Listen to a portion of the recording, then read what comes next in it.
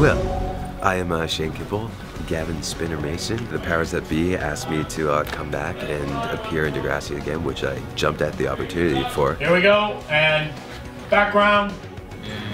I know I don't have a ton of experience, but being a PA taught me how to carry 10 smoothies at a time, so. Eli is uh, coming in to apply for a job, and I, Spinner, obviously have to sift through all the, the crappy resumes and decide who makes it through because we run a tight ship in there. Your availability over the next few months, we really need some help. Uh, I'm um, sorry, I, I just have to take care of the thing.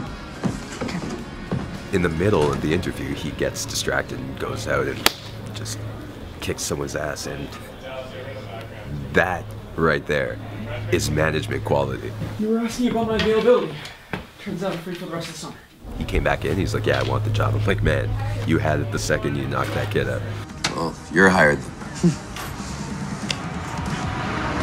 Lot has changed, a lot hasn't. So much of the, the, the cast is completely different except for Stefan. Lots of the crew is the same, and so it's like coming back into a party that I stepped away from for a while and still going strong. You okay? Got